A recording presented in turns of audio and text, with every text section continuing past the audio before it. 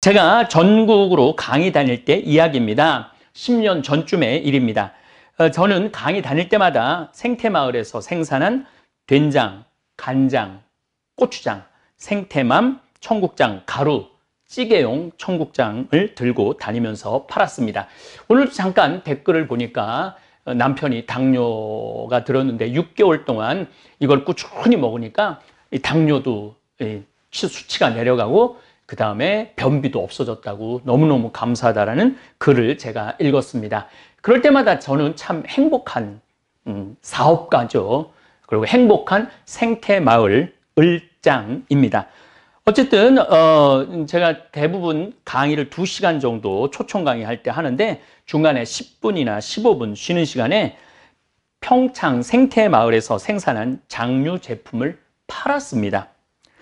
물론 어, 제가 쓴 책들도 들고 나가서 판매하고 사인도 많이 해 주었습니다. 그 덕에 사실은 어, 보통 저자들보다도 책을 훨씬 많이 팔았죠. 뭐 엄청나게 대충 총 한 100만 권 정도 팔은 것 같아요. 이제까지 제가 쓴 책을. 뭐 작가로서는 정말 말도 할 수 없는 큰 기쁨의 그러한 작가죠. 저는 참 사제이기 때문에 유리한 부분이 참 많습니다. 한마디로 장돌배기 같은 장돌배기죠. 같은 삶을 15년 정도 산 것 같습니다. 저는 이 장돌배기라는 장돌배기라고도 하죠. 단어를 참 좋아합니다. 장돌림.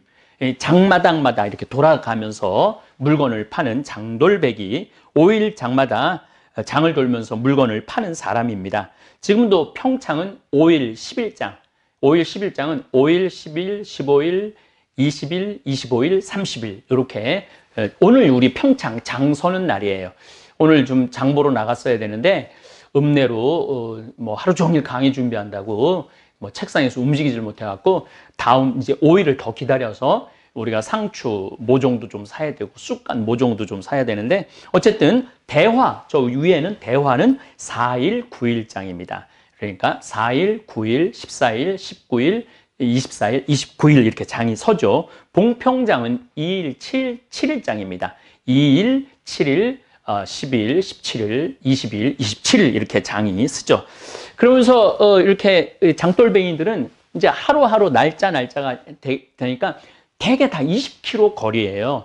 참 묘해요. 도시가 시골은 거리가 대개 20km입니다. 제천에서 주천 20km, 신림에서 주천 20km, 주천에서 우리 평창 20km, 평창에서 대화 20km, 대화에서 봉평 20km 이런 식으로 돼 있죠. 그래서 어, 장돌뱅이들이 이렇게 어, 하루 이제 물건 팔고 또 밤에 이렇게 이제 가면서 다음 날 또 대화로 옮겨가고 봉평으로 옮겨가고 그러죠. 사실 예수님도 장돌백이셨습니다. 7일에 한 번씩 찾아오는 안식일에 회당을 들러서 하늘나라를 판매하신 분이에요. 제가 옛날에 어, 어, 내 사목 목표는 고객 만족도 아니고 고객 감동도 아니고 고객 기절이다.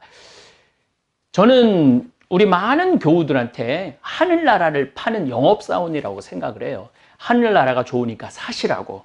그래갖고 그 하늘나라의 좋음을 내가 최대한 잘 홍보할 수 있는 그러한 능력을 갖추는 게 예수님 보시기에 좋은 사도라는 말씀을 참 예전에 많이 예, 드렸습니다.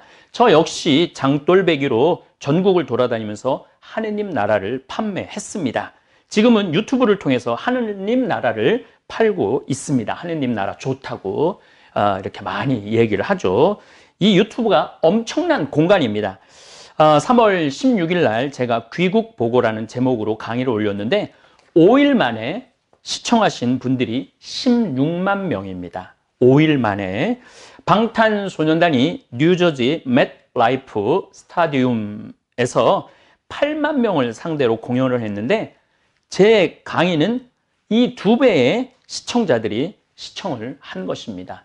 그러니까 이렇게 제 이 거실에서 제 조그만 내 비밀의 공간, 어, 내 정원에서 이렇게 찍지만은 이 시청하는 분들은 맨 라이프 스타디움에서 그 어마어마한 사람들이 음, 모여서 지금 각자 방에서 전 세계에서 시청을 하고 있는 것이죠. 그렇기 때문에 저는 이 유튜브 공간이 이제는 복음을 전할 수 있는 기가 막힌 소통의 공간이라는 생각을 해서 어, 하루 종일 책상에 앉아서 자료 정리하고 또 묵상하고 어떻게 하면은 이 시대의 흐름을 또 하느님의 뜻을 전할까 참 많은 고민을 하고 공부를 합니다. 이제 시대는 바뀌어서 장돌배기로 이장 저장을 떠돌아다니지 않아도 생각을 함께 공유할 수 있는 기가 막힌 시대가 왔죠. 예, 스마트폰, 그 스마트폰이 연 또 다른 세상이기도 합니다. 이효석 선생님께서 쓰신 메밀꽃 필 무렵을 읽어보면 장돌배기의 삶을 참 잘 그려놓은 이야기입니다. 그런데 이 메밀꽃 필 무렵과 우리 평창 성필리포 생태 마을의 관계는 특별합니다. 소설 속의 허생원은 평창장, 대화장, 봉평장, 이제 마지막으로 장평장으로 떠난다는 얘기가 나옵니다. 평창에서 만난 동이라는 젊은이는 제천에서 태어났다고 그러죠. 우연하게 평창장에서 만나 동행을 시작하게 됩니다. 그런데 이 동이는 제천에서 태어납니다. 다시 말해서 제천에서 평창까지 오는 데는 반드시 지금 성필리포 이 자리를 지나야 합니다. 무슨 얘기냐면은 제천에서 주천, 주천에서 판운으로 넘어와서 이제 강 따라 쭉 오는 거죠. 판운에서 이곳에 딱 도착을 하면은 여기에서는 길이 없어요. 이 나루터를 건너가야 돼요. 그래서 요 건너편에 비석이 있어요. 음, 100년 전 나루터, 나루터라고 써 있어요. 그래서 요 건너편에는 나루터입니다. 그리고 요 자리는 바로 요 자리, 요 자리예요. 요 자리는 뭐가 있었느냐면 주막이 있었어요. 주막이. 이건 제 생각에는 500년 전에도 이 자리가 주막이 있었고 100년 전에도 이 자리가 주막이 있었을 것입니다. 바로 이 자리에 제가 생태 마을을 꾸미고 살고 있죠. 어, 우리 이효석 선생님께서는 어, 진부에서 태어났어요. 하진불이라는 곳에서 태어나셨고 또 진부리에 묻히시죠. 1973년 영동 고속도로 공사 때 평창 그때는 평창 분들이 봉평이나 진부에 계신 분들이 이 여기에 얘기를 했다고 그래요. 어, 그 자손들이 우리 아버지 이제 영동 고속도로 때문에 묘가 옮겨야 되니까 어떻게 여기서 할 수 없느냐고. 그때는 1973년도에는 문학가가 얼마나 위대한 사람인지 몰랐던 거예요. 그래갖고 어, 봉평에다 모시지 못했죠. 파주 공원묘원으로 지금 가 계세요. 이효석 선생님. 어, 묘는 거기 있습니다. 참 기가 막히죠. 우리가 봉평 메밀꽃 어, 축제를 9월 달에 보통 하는데 한 100만 명 정도 모인다고 그래요. 100만 명 정도. 무슨 경제적인 효과의 문제가 아니라 사람들은 이 문학에 대한 그리움이 있어요. 만약에 이효석 선생님의 묘가 그 물레방아 옆에 있었다면 제가 보기에는 100만 명이 오는 게 아니라 300만 명, 500만 명이 올 겁니다. 그런데 그 문학가의 그 귀중함을 그러니까 예술의 귀중함을 그때 시대 때는 몰랐던 것이죠. 어쨌든 평창 초등학교를 6년을 이효석 선생님이 다니셨어요. 그렇기 때문에 이효석 선생님은 제천, 주천, 평창, 대화. 제가 이제 그 메밀꽃 필 무렵의 길을 말씀을 드리는 거예요. 대화. 그 다음에 그 유명한 봉평. 예, 물레방앗간에서 하룻밤에 만난 그 여인과 예, 사랑에 나누는 그러한 얘기죠. 그래서 이 자리가 이효소 선생님이 이 자리를 분명히 알고 계셨, 우리 생태마을을 분명히 알고 계셨던 것이죠. 그래서 저는 어, 그런 그 연계성을 갖고 있으면서 이곳은 많은 사람들이 쉬었다 갔던 음, 장소예요. 그렇기 때문에 성필리포 생태마을 피정의 집, 온 세상을 떠돌아다니는 나그네들이 아, 이곳에 와서 쉬고 가는 그런 기가 막힌 공간으로 재탄생했죠.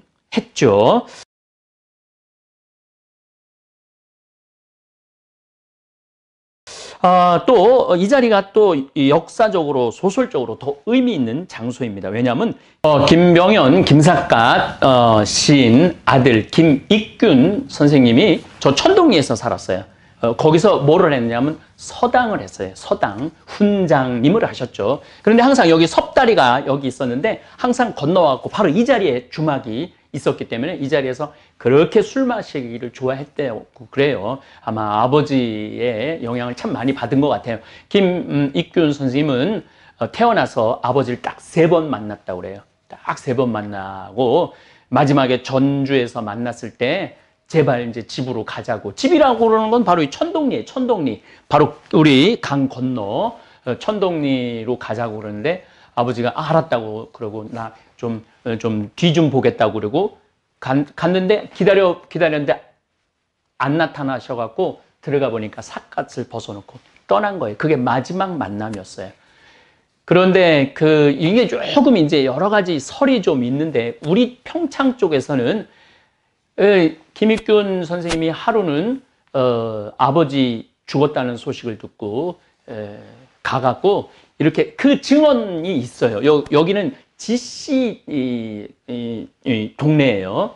어, 그 지씨 동네인데 아, 지씨 성을 가진 분들의 집정 집장촌이죠. 하루는 음, 어디를 아버지 음, 모시러 간다고 그래갖고 이렇게 함에다가 이렇게 그러니까 이제 화장을 해갖고 와갖고 여기다 묻었다고 그래요. 김사 지금은 영월 김삿갓 그 묘가 거기 있다고 그러는데 이 지역의 사람들의 증언을 들어보면은 묻어갖고 항상 아버지한테 벌초도 하고 아버지를 잘 모셨다고 이 지역 사람들은 그런 증언들을 하고 있어요. 어쨌든 그 김익균 선생님은 요, 요, 요 자리가 이 주막 자리였기 때문에 항상 여기 섭다리를 건너와 갖고 여기서 술 마시는 걸 참 좋아했다고 그래요. 근데 한 겨울에 술을 너무 마셔 갖고 섭다리를 건너다가 떨어져요. 그래 갖고 다리에 떨어져서 죽어요. 그 같이 가던 친구가 이 상투를 풀어 갖고 섭다리 거기 그 기둥에 묶어 놓고 사람을 부르러 갔다 와 보니까 죽었다고 그럽니다. 그래서 김육균 선생님의 묘는 여기 있습니다, 지금. 그리고 이 자리가 그 제가 20년 뭐 전에 어, 왔을 때도 이 자리가 아, 주막, 주막은 아니고 어, 뭐 식사도 하지만은 술도 파는 자리로 제가 그 집에서 한 2년, 3년 살았어요.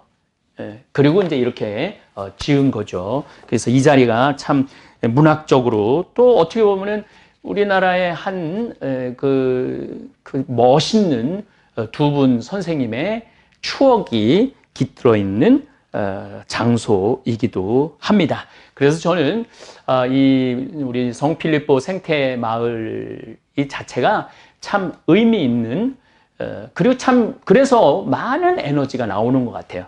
많은 일을 할 수 있고 정말 아프리카 잠비아의 천만 평 우리 김종용 신부님이 이제 아마 오늘 내일 뭐 케냐에서 만약에 못 들어가면은 케냐에 우리 선교 센터가 있기 때문에 거기 좀 머무르다가 아마 잠비아로 들어가서 계속 일을 할 거라고 생각합니다. 이제는 더 이상 외부 강의를 제가 다니지 않기 때문에 장돌뱅이 삶을 살았던 것이 아련한 추억으로 남아 있습니다. 장돌뱅이 삶을 살다 보니 별별 일을 다 겪었습니다. 한 번은 아주 잘 사는 본당에 강의 요청이 있어서 어, 저는 어김없이 된장, 간장, 고추장, 생태맘, 청국장, 가루, 찌개용 청국장을 바리바리 싸들고 에, 물론 강의도 갔지만은 어, 우리가 생산하는 장류를 들고 갔습니다. 저는 강의하느라 성당으로 들어가고 우리 직원은 제 차 트렁크에서 물건을 내려 어, 성당 입구에 판매대로 물건을 이렇게 옮기는데 본당 신부가 수단을 입고 지나가면서 장을 옮기는 우리 직원 귀 뒤에 대고 구질구질하게 저런 거 싸들고 다닌다고 혼잣말을 어, 하더랍니다. 우리 직원이 그 말을 듣고 너무 자존심, 구질구질하게 저런 거 싸들고 다닌다고 너무 자존심이 상해서 음, 저희는 그 성당에 도착하면은 먼저 본당 시민한테 인사한다고 우리 장 종류를 전부 다 선물을 드려요. 수녀님, 수녀원에도 선물을 드리고 사무실 직원들한테도 선물을 드려요. 근데 우리 직원이 옮기다가 너무 화가 나갖고 사정을 해갖고 다시 찾아오고 싶을 정도로 자존심이 상했다고 그럽니다. 어, 보통 제가 강의 밤 10시에 끝나고 교우들과 사진 찍고 책 사인해주고 어, 우리 직원은 팔다 남은 물건을 다시 바리바리 싸서 차 트렁크에 넣고 생태 마을에 들어오는 시간은 새벽 1시쯤 됩니다. 그런데 그 들어오면서 직원이 그러더라고. 오늘 신부님, 거기 본당 신부님한테 구질구질하게 저런 거 싸들고 다닌다는 얘기 들었다고 너무너무 화가 난다고. 근데 저는 자존심 하나도 안 상했어요. 화도 안 났어요.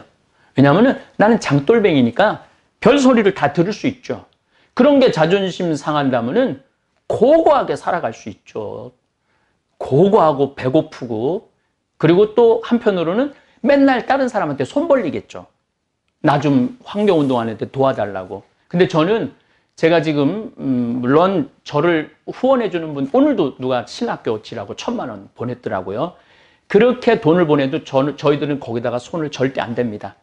우리 직원들 지금 40명 월급 주는데 그것 손 안 돼요. 우리가 된장, 간장, 고추장, 청국장 판매한 걸로 우리 직원들은 당당하게 월급 받아가죠. 구질구질하게 우리가 사는 게 아니고 당당하게 살아가고 있죠. 내 손으로 일을 하기 때문입니다. 노동은 신성한 것입니다. 피땀 흘려 내가 지은 수확한 작물, 또 내가 직접 매주 띄워 만든 된장, 간장, 고추장, 또 내 손으로 어, 띄워온 청국장을 들고 다니면서 판매할 때 저는 제 자신이 구질구질하다고 생각해 본 적 한 번도 없습니다. 오히려 아주 자랑스럽고 당당합니다. 아마 오늘 이 시간에 시장에서 또 노동 현장에서 또 공장에서 피땀 흘려 성실하게 일하시는 모든 분들 본인이 구질구질하다고 생각하시는 분들이 있다면 더 이상 그렇게 생각하지 않으셔도 됩니다. 정말 구질구질하게 사는 사람은 피땀 흘려 노동하지 않고 다른 사람 등쳐먹고 사기치는 사람들입니다. 우리 직원들은 손가락에 불 정도로 열심히 일을 합니다. 그리고 정말로 어깨가 아프고 어, 그럴 정도로 매일매일 하느님 보시기에 참 좋은 모습으로 열심히 일하고 또 거기에 합당한 뭐 합당하다고 이야기하기는 제가 함부로 그렇게 말씀드릴 자신은 없지만은 음 제가 CEO 사제이기도 하지만은 생태마을 어, 운영하는 을장 CEO로서 해줄 수 있는 한 최대한 해주려고 저는 노력을 합니다. 그래서 우리 기본급이 아마 정부에서 지정한 기본급이 한 180만 원 정도 되는데 우리는 초봉이 거기에 한 50만 원 더 높아요. 그래서 에, 최대한 에, 잘해주고 싶고 긍지, 자긍심 가지라고 어, 항상 제가 말씀을 우리 직원들한테 이야기를 하죠. 절대 내가 된장간장 고추장 들고 다니는 거 구질구질한 거 아니에요. 만약에 마음에 안 들면 안 사면 되는 거고 또 뭐 가끔은 아예 못 갖고 오게 할 때도 있어요. 그야말로 허탕 칠 때가 있죠. 그럴 때는 저는 또 강의 또 뭐 즐겁게 하고 그렇게 이렇게 세월 세월 흘러서 20년의 시간이 지났습니다. 아, 요즘 바이러스 때문에 많은 중소업자들 또 어, 소상인들 참 힘들어 하죠. 에, 음, 정말 내가 왜냐하면 제가 구질구질한 남들이 보기에 구질구질하게 그런 거 들고 다니면서 판매 저는 뭐 당당하게 했지만은 그렇게 하루하루를 하루하루 싸가는 거죠. 어, 실력도 싸가고 신뢰도 싸가고 유통 시스템도 싸가고 어, 그렇게 어, 이렇게 시간을 지금까지 와서 우리 생태 마을은 사실은 지금 두 달을 전혀 문을 닫고 피정 손님 이효석 선생님도 여기를 길을 아시고 소설의 한 장소로 이야기를 했고 김삿갓 어, 김병현 아들 김익균 선생도 이곳에 와갖고 막걸리 한 잔을 했던 이 자리에서 우리는 정말 행복한 어, 시간을 보내고 있습니다. 사실 또 욕심도 없어요. 뭐 여기서 제가 떼돈을 벌고 싶은 생각도 없어요. 그저 어, 우리 농민들 콩 수매해서 그거 건강하게 해서 우리 국민들한테 건강한 먹을거리 제공한다라는 그러한 당당함, 자신감이 있습니다. 그래서 어, 그 구질구질하다는 그 말 제가 이렇게 들으면서 묵상을 참 많이 해요. 내가 구질구질하냐? 당당하냐? 근데 자기가 하는 일에 소신을 갖고 산다면은 뭐뭐 그런 얘기 별로 중요하지 않다고 생각을 합니다. 사도 바울은 말합니다. 데살로니가 전서 4장 11절에 이렇게 말합니다. 우리가 여러분에게 지시하는 대로 조용히 살도록 힘쓰며 전 진짜 요즘 조용히 살고 있죠. 조용하지만 결코 조용하지도 않고 또 유튜브 때문에 자기 일에 전념하고 자기 손으로 제 일을 하십시오. 자기 손으로 제 일을 하라고 그러죠. 그러면 바깥 사람들에게 품위 있게 처신할 수 있습니다. 내 손으로 돈을 벌면은요, 바깥 사람한테 자신 있게 처신할 수 있어요. 근데 내가 내 손으로 돈을 벌지 못하면은 사람이 비굴해져요. 비굴해지고, 어, 뭐, 제가 여기서 수많은 사람들을 만나 아, 보지만은, 어, 정말 매일 자기 일에 성실한 사람들은 여기 와서 당당해요. 그런데 뭔가 좀 숟가락을 얹으려고 그러는 그런 분들이 있어요. 그런 분들은 좀 정말 좀 음, 약간 좀 자신감이 없어 보이는 그런 면도 있습니다. 근데 사도 바울은 이거 너무 정확하게 알고 있죠. 자기 손으로 제 일을 하십시오. 그러면 바깥 사람들에게 품위 있게 처신할 수 있고 아무에게도 신세를 지는 일이 없을 것입니다. 맞아요. 어, 우리 제가 2000년에 여기 들어왔는데 우리가 먹을 거리를 만들어 놓지 않았다면 어, 우리가 살 거리를 준비해 놓지 않았다면 지금 아마 굉장히 비굴한 상태로 있었을 거예요. 그런데 누가 뭐라 그래도 정말 무소의 뿔처럼 뚜벅뚜벅 이렇게 걸어왔기 때문에 어, 지금도 참 음, 이런 어려운 상황 속에서도 우리 모든 직원, 요즘 우리 직원들 신났어요. 어, 왜 신났느냐 하면은, 어, 이 피정 식단은 늘 똑같죠. 그분들은 처음이지만 우리 직원들은 매일 그 피정 식단을 먹으니까 참 밥 먹는 게 참 힘들었는데 요즘은 피정객이 안 오니까 아주 뭐 주방에서 온갖 그 오늘은 뭐 짜, 짜, 짜구리? 짜글이 백종원 씨가 한 짜글이를 저녁에 했는데 저도 올라가서 먹었는데 아우 아주 맛있더라고요. 전 뭐 조금 맛을 봤는데 예, 참 맛있더라고요. 우리 직원들이 아주 요즘 식사 시간이 기대가 된다고 어떤 우리 직원은 그거 맨날 찍어서 자기 친구들한테 자랑한다고 어, 그럽니다. 어쨌거나 하여튼 어, 요즘 어, 바이러스가 창궐하는 시대를 살면서 내 손으로 일해서 먹고 살 수 있음에 얼마나 감사한지 모릅니다. 이제 잠깐 제 손으로 일하는 장면을 여러분들 잠깐 감상해 보시기 바랍니다. 돌단풍입니다. 우리 생태마을에 이제 돌단풍이 나오고 이제 나오기 시작하네요. 이제 봄이 드디어 시작을 했습니다. 우리 생태마을 어, 정말 아름답습니다. 어, 저희들이 이 생태마을을 꾸미는데 20년 딱 걸렸어요. 이제 올해부터는 조금 더 어, 조경도 좀 많이 하고 많은 분들이 와서 에, 정말 행복하게 제가 우리말만 쓰, 쓰려고 노력하는데 그야말로 영어로 하면 릴렉스하게 좀 편안하게 많은 분들이 와서 쉬었으면 좋겠는데 아, 요즘 바이러스 때문에 예, 온 국민이 자가격리를 좀 하고 있죠. 이 아름다운 저 하늘 좀 비춰봐. 이렇게 오늘 그냥 하늘이 예쁘고 그냥 좋은데 이런 맑은 공기 우리 국민들이 많이 마셨으면 좋겠는데 바이러스 때문에 우리 생태마을 지금 문을 닫고 있어요. 지금 두 달째 문을 닫고 있는데 어, 하루 빨리 문을 열 수 있도록 정부도 노력하고 국민도 노력하고 그랬으면 좋겠습니다. 예, 예 항아리가 많으면은 그 집이 부자인지 부자가 아닌지 잘 알 수 있다고 그러는데 어, 우리 생태마을 이렇게 항아리 이렇게 보시면은 어, 반대쪽도 한번 비춰봐요. 예, 어, 우리들이 이 장을 된장, 간장, 고추장 어, 지금 담궈 놓은 겁니다. 자, 제일 좋은 거는 3년 묵은 된장이 제일 맛있는데 어, 우리 된장 인기가 좋아갖고 이렇게 많이 담그는데도 그리고 생태마을은 어, 이제 제가 그 소금 간수 빼는 거를 좀 보여드릴 텐데 어, 소금을 미리 이 비금도에서 사놔서 간수를 빼갖고 어, 어, 장을 담급니다. 제가 늘 드리는 말씀이지만 우리 생태마을의 장은 어, 매주 띄워갖고 어, 또 어, 그걸로 어, 비금도 물로 된장, 간장 고추장. 고추장은 뭐 좀 다른 음, 성격이 있죠. 고춧가루. 물론 고춧가루도 당연히 우리 생태마을에서 생산한 고춧가루로 고추장을 담급니다. 이게 메주가 아, 온 우주가 들어있다고 그래요. 이게 메주가 왜 이 온 우주가 들어, 담을 수 있느냐면은 화. 이 콩을 삶을 때 불로 삶, 삶잖아요.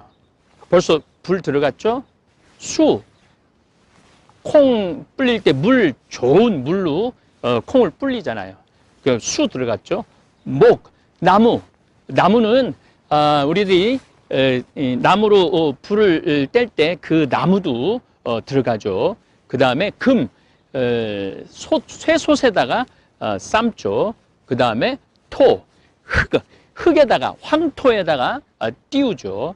그래서 이렇게 메주를 이렇게 만드는 만드는 그 과정이 우주를 담는 과정이라고 그래요. 우주를 담는 과정. 그래서 우리는 그냥 단순히 메주를 먹는 게 아니라 어, 우주를 먹는 거죠. 우주. 어, 이게 참 어, 제가 선생님한테 좀더더 자세히 해서 나중에 좀 음, 자료를 여러분들한테 이렇게 에, 띄울 건데 이 콩이 천지인 하늘과 땅과 이 사람이 다 들어있다고 그래요. 이 콩 안에. 그래서 그 콩 백태 안에 보면은 그 천지인의 모습이 다 들어있다고 그래요. 그래서 우리가 된장, 이 된장은 제가 보기에는 어, 우리 대한민국 한민족의 지혜가 들어있는 음식이 된장인 것 같아요. 어, 생태마을 된장은 그래서 짭니다. 왜 짜냐 하면은 다른 방부제를 넣을 수 없기 때문에 방부의 역할은 소금으로밖에 못해요. 저는 너희는 세상의 빛과 소금이다라는 말씀을 예수님 2000년 전에 하셨죠. 소금. 2000년 전에 예수님께서 소금이 얼마나 중요한지 아셨던 거예요. 그래서 너희는 세상의 빛과 소금이다. 소금은 그래서 우리 인간 그 삶 안에 빠질 수가 없는 거예요. 그러니까 오죽하면 금이라고 그러겠어요. 황금, 소금. 그리고 더 중요한 건 제가 말하죠. 금 중에 진짜 중요한 금은 지금이에요. 지금. 지금 행복하지 않으면은 내일도 행복할 수 없어요. 지금 우리가 지금 바이러스 때문에 고통을 겪고 있는데 아, 이런 일이 벌어질지 2020년 시, 경자년 시작하면서 어떻게 알았어요? 아무도 몰랐죠. 이런 일이 벌어질지 희망찬 2020년 그러고 시작했는데 이 전 세계가 지금 완전히 그냥 올 수도 없된 거 아니에요. 전 세계가. 그리고 서로 담을 쌓고 벽을 치고 예, 스스로의 감옥에 갇혀서 살잖아요. 그래서 내일 일은 모르는 것 같아요. 내일 일은. 그래서 제가 가끔 내일 일은 난 몰라요. 그 노래를 가끔 부르는 이유 중에 하나가 내일 일은 몰라요. 그래서 지금 그리고 지금 소금 아, 이 소금이 굉장히 중요한 역할을 합니다. 이제 오늘 3월 20일인데 아주 뭐 봄 볕이 어제는 막 태풍 같은 바람이 불더니 지금 봄볕이 들어서 우리 생태마을에 지금부터 이제 장 익는 냄새가 나기 시작해요. 그럼 참 구수해요. 장 익는 냄새가 어, 너무너무 좋은 것 같아요. 제가 간장차 얘기도 하죠. 뭐 제가 보기에는 지금 뭐 음, 바이러스 때문에 많은 사람들이 힘들어하는데 면역력 키우는 게 참 중요한 것 같아요. 면역력. 물론 뭐 면역력 키운다고 다 바이러스에 안 걸리는 건 아니지만은 어느 정도 우리가 면역력을 가지려면은 이 장류를 먹어야 돼요. 어, 우리 된장은 재래식이라고 지금 계속 말씀드리죠. 그렇기 때문에 짜요. 짜기 때문에 도시에서 그 누런 된장 어, 그런 된장하고 맛은 달라요. 조금만 넣어서 그냥 끓이시면은 된장국이든 된장찌개든 된장찌개도 조금만 넣어서 끓이, 끓이 시면 돼. 많이 필요 없어요. 워낙 이 안에 좋은 균들이 아주 집합되어 있기 때문에 아, 저희들이 지금 여러분들한테 된장을 한번 보여드리도록 하겠습니다. 한번 팀장님 한번 열어보세요. 네. 이렇게 우리들이 지금 항아리에다가 이렇게 보자기를 이렇게 했는데 옛날에는 광목을 썼는데 광목을 써다 보니까 자꾸 곰팡이가 생겨요. 그래서 우리 직원들이 에, 항아리를 이렇게 할 때 정말 나도 처음 봤네. 이렇게 예쁘게 그냥 이렇게 하는 줄. 정말 정성스럽고 예 정말 정성스럽고 예쁘게 이걸 뭐라 그러지? 이, 이 이런 이런 거를 보재기라고 그러나? 보자기. 어, 어, 보자기. 어, 네. 보자기 이 보자기로 이렇게 예쁘게 예, 매듭을 쳐서 어, 벌레도 안 들어가게 하고 먼지도 안 들어가게 하고 어, 정말 먼지가 이렇게 요- 위에 이렇게 이렇게 있네 안 들어 못 들어가게 이제 음, 보통 우리가 한참 이거 익을 때 이게 뚜껑을 열어두잖아요. 네. 예, 한참 익, 익을 때는 뚜껑을 열어둬서 어, 이 태양빛, 공기 이런 모든 것이 숙성이 아까 제가 말씀을 드렸죠. 어, 화, 수, 목, 금, 토가 다 들어있다고. 자, 장을 드디어 한번 개봉을 해 보겠습니다.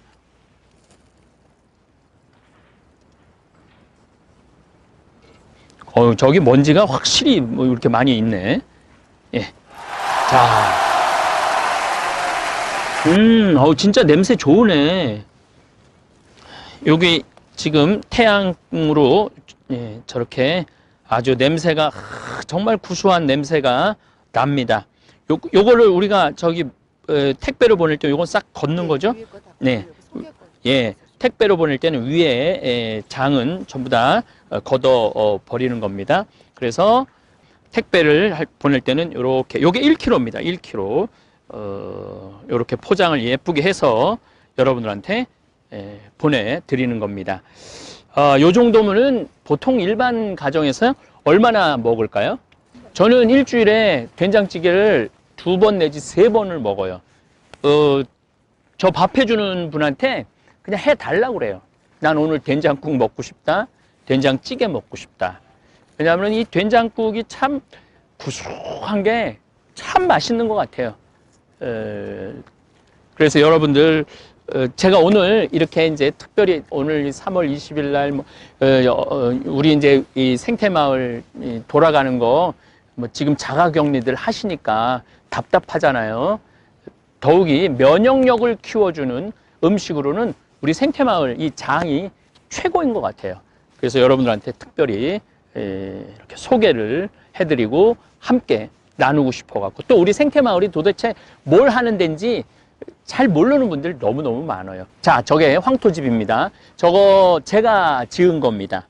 에, 믿어지지 않으시겠지만은 제가 포크레인으로 해갖고 제가 지은 건데 아, 기운이 다 딸려갖고 저 에, 위에다가 에, 사실은 그 노르웨이에 가보면은 저 위에다가 잔디를 심어갖고 꽃을 올리는데 그걸 하고 싶었는데 아 기운이 딸려갖고 저기까지 밖에 제가 못했어요. 기운이 딸려서 지금도 뭐 많은 분들이 이곳을 많이 이용을 합니다. 제가 이제 한번 저기도 지금 음, 한 우리 은퇴하신 아주 아주 높은 공무원 하시고 에, 출입국 관리 국장까지 하신 분이 지금 저곳에서 한 10년 정도 지금 살고 계신데 저것도 제 손으로 지은 겁니다. 예. 제가 가장 좋아하는 텔레비전 프로그램은 나는 자연인이다입니다. 어, 그걸 보고 있으면은 마음이 그렇게 편안해요. 자연인들 이렇게 이제 뉴스를 먼저 보죠. 그 정치인들 막 모습 보다가 자연인들 모습 딱 보면은 마음이 너무너무 편안해요. 그래서 저 역시 자연인으로 살고 있죠. 자연인으로 살고 있는데 제가 천주교 신부기 때문에 천주교 사제이기 때문에 공적인 사람이기 때문에 그 혼자서의 유유자적을 누릴 수는 없죠. 또 물론 제가 혼자서 유유자적을 누린다면은 사제가 될 이유가 없죠. 많은 교우들한테 위로를 하고 또 많은 교우들한테 하늘나라의 신비를 알려주고 어, 또 이 지구가 조금 더 건강해질 수 있도록 노력하는 것이 제 사명이죠.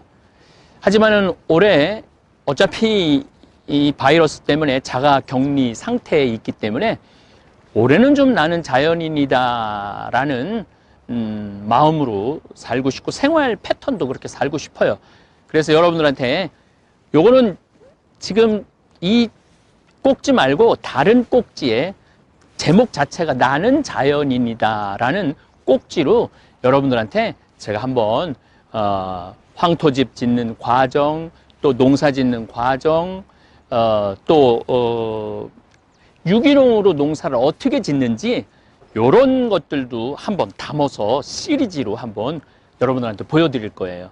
그래서 사실은 이것도 나는 자연인이다의 일부분이죠. 예. 제가 이 된장, 간장, 고추장, 그 다음에 생태맘, 청국장, 가루 만들으려고 그랬던 이유 중에 하나가 우리 농민들 여 저 대, 저기가 이제 마질이 대상리 대하리 뭐 대상 1, 2, 1, 2, 2리 뭐 다 그러죠. 하리, 중리, 상리 뭐 이거 다 이제 이게 일제 잔재죠. 일제 잔재, 북리, 남리 뭐 이런 것들도 다 일제 잔재의 에, 언어들이에요. 그래서 요즘은 뭐 김삿간면 뭐 어, 뭐, 아주 좋은 이름들로 바꿔가고 제가 굉장히 기분이 좋아요. 어, 그렇게 건강한 모습으로 에, 어제도 차탄체 에, 검진한다. 그 참 우리 대한민국 사람들이 보면은 굉장히 건강한 생각을 많이 갖는 것 같아요. 어, 저희들이 아, 2020년 경자년 어, 간장 어, 담그는 모습 여러분들한테 보여드리도록 하겠습니다. 매주를 저희들이 한 60일 정도 띄웁니다. 60일 정도 띄워갖고 어, 정월 안에 어, 소금 18도, 염도 18도를 맞춰서 우리는 비금도 소금을 씁니다. 간수를 한 3년 정도 어, 빼죠. 3년? 네, 3년 정도 간수를 제가 이제 나중에 이제 소금도 저희들이 한번 보여드리도록 하겠습니다. 간수를 빼서 어, 정월 안에 2월 7일 정도 했습니다. 그리고 한 50일 정도 담그고 난 다음에 장가르기를 합니다. 여러분들 이렇게 보시면은 어, 숯이 있는데 이거 숯은 매주의 독성을 빼는 거예요. 매주의 독성만 빼는 것이 아니고 이 숯이라는 게 참 신비한 것 중에 하나가 어, 나쁜 것들을 흡착을 하는 능력이 있어요. 숯이. 그래서 여러분들 그 수돗물 이렇게 드실 때 아주 특별한 삼투압 그 서울은 지금 삼투압으로 수돗물을 정화를 해서 먹는데 그러지 않는 한 대개 백탄으로 마지막으로 걸러서 여러분들 집으로 가는 거예요. 그래서 숯이 우리 생활 안에 쓰여집니다. 그리고 이제 고추가 있는데 이 고추는 칼칼한 맛도 냅니다. 이 붉은 고추는. 근데 또 우리 전통적으로 나쁜 액을 막아주죠. 제가 말씀드렸죠. 그냥 간장, 매주 그냥 이게 그냥 화학 제품으로 하는 게 아니라 우주를 담는 거예요. 화수, 목 금, 토. 우주를 담고 천지, 인을 담는 거예요. 그 기운을 담는 거죠. 그래서 여기다 새끼줄을 이렇게 치는 이유도, 이유 중에 하나도 그 액을 막, 막, 막는 거예요. 새끼줄 여, 많이 치죠, 여러분들. 그 금줄 할 때, 애기 태어날 때 새끼줄 하죠. 또 언제 새끼줄을 쓰느냐면은 부모님 돌아가셨을 때 머리에, 대개 며느리들이 머리에 많이 하고 아, 아들들은 허리에 많이 하죠. 뭐, 에, 머리에도 하고 허리에도 해요. 물론 죄인이라는 의미도 있지만 시신 앞에 있으면서 그 액을 쫓아내기 위해서 쓰는 거죠. 그래서 이렇게 단순히 과학적으로만 할 수 있는 게 아니에요. 장이라는 것 자체가. 그 다음에 대추는 자손도 좀 많게 하고, 어, 당연하죠. 건강한 음, 간장으로 음식을 해 먹으면은 자손이 많이 생기죠. 요즘 불임이 자꾸 생기는 이유도 중에 하나도 된장간장 고추장을 안 먹고 인스턴트 음식만 먹기 때문에 여자 젊은 여자 아이들이 자궁에 문제가 생기는 거예요.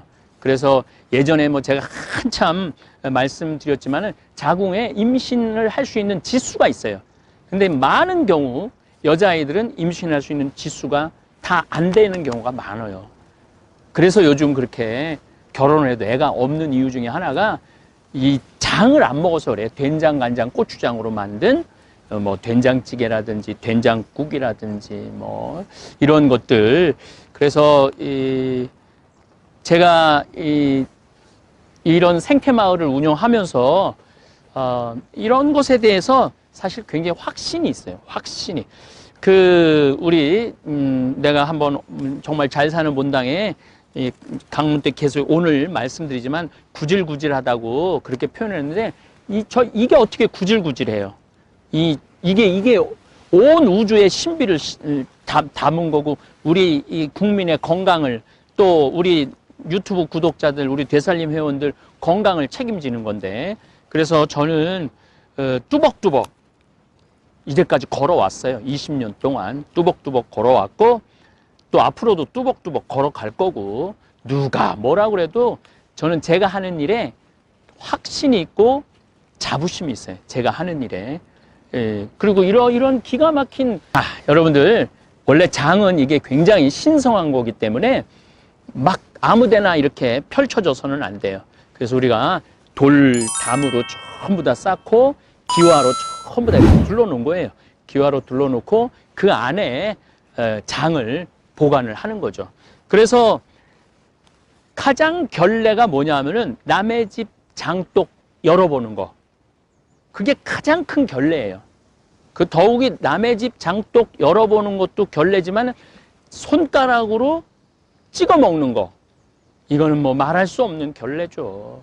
왜냐하면은 그 장, 장을 담그는 거는 그 장을 담그는 사람의 소양도 있는 거예요.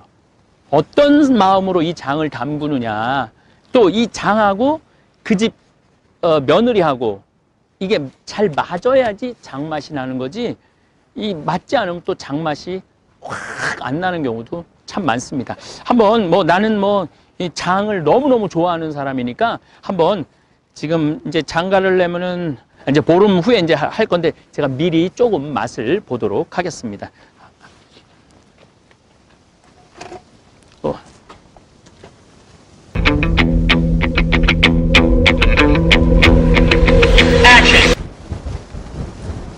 음, 확실히, 확실히 깊은 맛이 나. 에, 다, 다, 닫아주세요. 그리고 이제 지금 참 옛날에는 이 뚜껑으로만 어떻게 했는데 요즘은 이게 여 바람이 통할 수 있도록 해놓고 먼지가 안 들어가고 태양빛을 그대로 받을 수 있도록 이렇게 참 잘 해놨어요.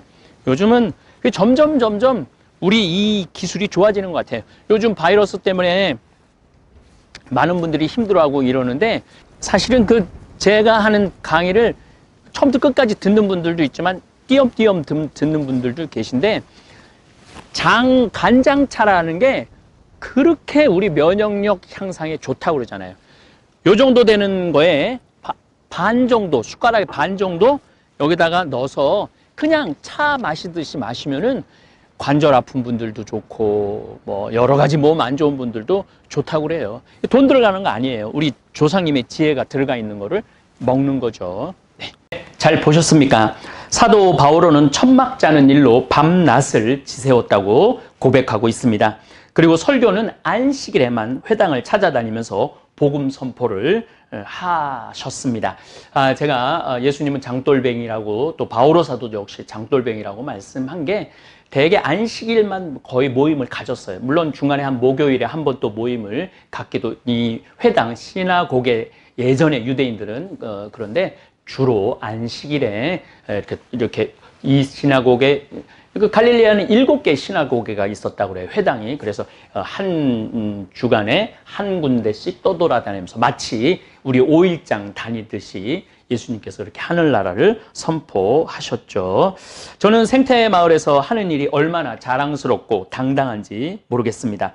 오늘을 고단하게 살아가는 모든 분들에게 저는 위로하고 싶습니다. 절대 구질구질한 삶이 아니라고 이야기는 또 내일 제가 이어서 노동의 신성함에 대한 말씀을 드리도록 하겠습니다. 귀양 오늘 우리 김사관 얘기를 나왔으니까 우리 음, 방랑시인 김사관 어, 시를 아 예전에 아주 재미나게 읽었던 시입니다. 그래서 그 시를 하나 읽어 어, 드리도록 하겠습니다.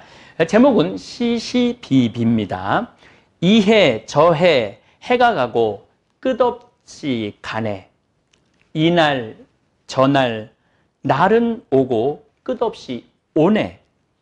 해가 가고 날이 와서 왔다 가는 또 가니 천시와 인사가 이 가운데 이루어지네. 요거를 한문으로 쓴 거예요. 이건 푸른 건데. 그래서 이 김사갓이 천재라는 거예요. 연년년 거 무궁거 111 내부 진례. 연거월레레 우거. 천신 사차 중최. 그 다음 시가 더 기가 막혀요. 이, 이, 여러분들 한번 에, 들어보시면은 우리 김사까 씨. 우리 어렸을 때 아마 우리 이 팀장님은 아마 그 음, 방랑신 김사까 그러면서 이렇게 했던 라디오 그런 거 아마 기억나실 거예요. 저도 아주 어렸을 때 너무너무 그, 뭐, 저 초등학교였으니까 뭐 무슨 뜻인지 몰랐지만은 그, 그 목소리, 성우가 참 목소리가 좋았던 것 같아요. 그때, 어, 요, 요거 여러분들 읽어드리도록 하겠습니다. 요즘 유튜브에, 어, 댓글을 보면은 네가 오르니, 내가 오르니 서로 의견이 분분하고 심지어는 어, 좀 음, 폭력적인 언어까지 쓰는 분들도 있는데 우리 에, 김사갓 시인의 이 기가 막힌 내용을 좀 들어보고 조금 마음의 여유를 가지시라고 제가 이 시시비비라는 시를 마저 읽어드리도록 하겠습니다. 옳은 것 옳다 하고 그른 것 그르다 함이 꼭 옳진 않고 그른 것 옳다 하고 옳은 것 그르다 해도 옳지 않은 건 아닐세. 그른 것 옳다 하고 옳은 것 그르다 함. 이것이 그른 것은 아니고 옳은 것 옳다 하고 그른 것 그르다 함. 이것이 시비일세. 이거를 어, 한문시로 바꾸면은 이렇습니다. 시시 비비비 시시 시 비비 시 비비 시시 비비 시시 비 주위의 소중한 분들에게도 공유해 주시면 좋을 것 같습니다. 한 번 더 들으시면 가슴에 더욱 새겨질 것입니다. 반복 재생합니다. 제가 전국으로 강의 다닐 때 이야기입니다. 10년 전쯤의 일입니다.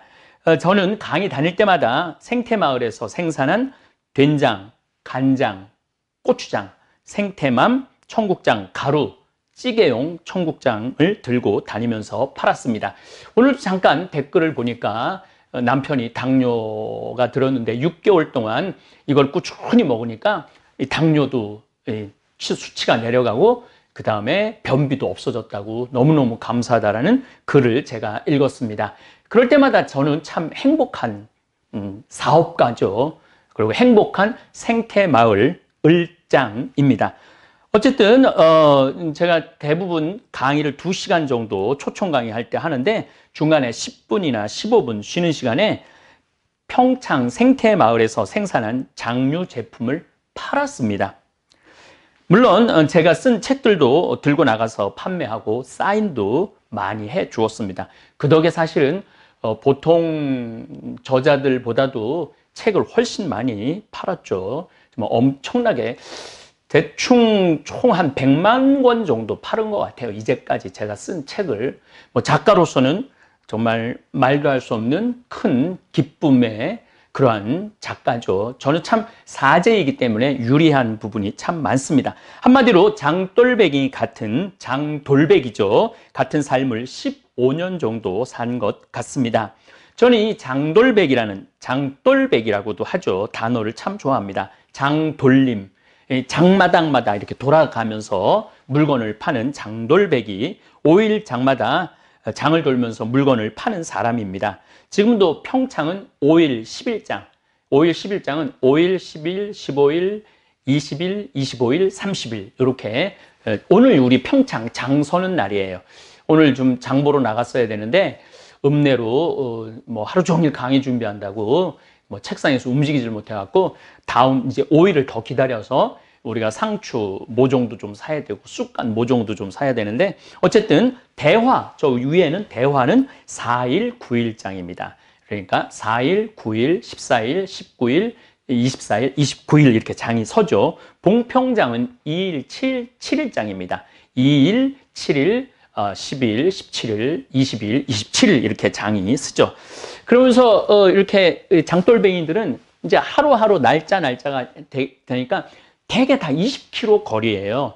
참 묘해요. 도시가 시골은 거리가 대개 20km입니다. 제천에서 주천 20km, 신림에서 주천 20km, 주천에서 우리 평창 20km, 평창에서 대화 20km, 대화에서 봉평 20km 이런 식으로 돼 있죠. 그래서 어, 장돌뱅이들이 이렇게 어, 하- 하루 이제 물건 팔고 또 밤에 이렇게 이제 가면서 다음 날 또 대화로 옮겨가고 봉평으로 옮겨가고 그러죠. 사실 예수님도 장돌백이셨습니다. 7일에 한 번씩 찾아오는 안식일에 회당을 들러서 하늘나라를 판매하신 분이에요. 제가 옛날에 어, 어, 내 사목 목표는 고객 만족도 아니고 고객 감동도 아니고 고객 기절이다.